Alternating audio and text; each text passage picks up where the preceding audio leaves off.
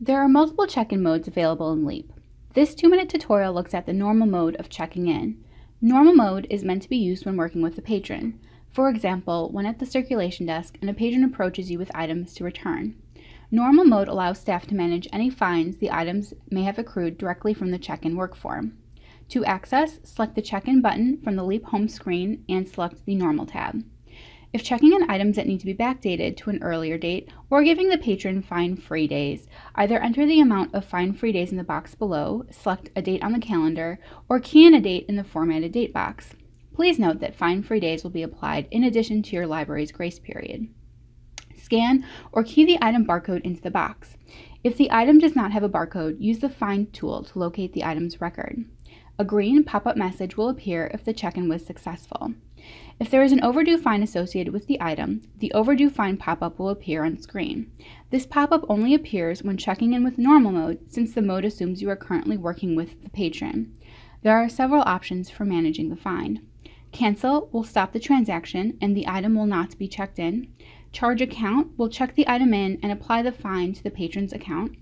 Waive will check the item in and waive the fine from the patron's record. Continue will check the item in, but bookmark the fine so you can manage it after checking in all of the patron's items.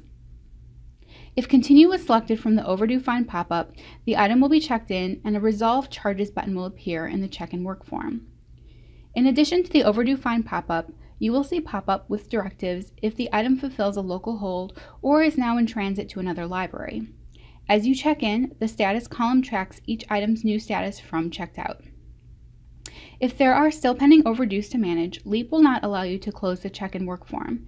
Instead, you must select Resolve Charges. When Resolve Charges is selected, a pop-up appears at the bottom of the work form.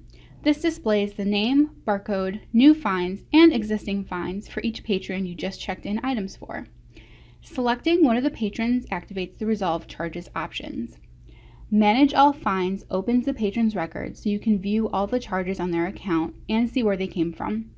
Charge New allows you to add an additional fine or fee to the patron's account. Waive Now allows you to waive the fines. Pay Now allows you to collect the money and remove the fines from the patron's account directly from this work form without needing to open the patron's record. You can collect the full amount or a partial amount from the total fines on their card. Resolving charges from the normal check-in work form is a convenient option if checking in overdue items from multiple patrons at once. For example, a parent can pay their family's overdues on all of the items they just returned without needing to open each cardholder's record. Once the items are all checked in and any overdues managed, you can either select Clear List from the Actions menu in anticipation of the next set of returns, or select Close to exit out of the check-in work form. This has been a two-minute tutorial on checking in items with the normal mode. If you have any questions, please email help at ccslib.org.